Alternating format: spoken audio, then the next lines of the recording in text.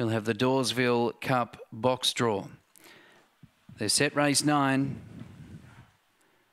Racing, flying out majestic. Mia Mafitidae has plenty of mustering room. Let's get rock deeper out. Fourth, Harlan Rocks from Grand Larceny. Keely Manelli, Ideal Grace, Shell Shocked last. Mafitidae hit the front. Two lengths away, let's get rocked. Then majestic Mia, Keely Manelli, Shell Shocked. Mafitidae's in front. Let's get rocked is motoring home and they hit the line locked together.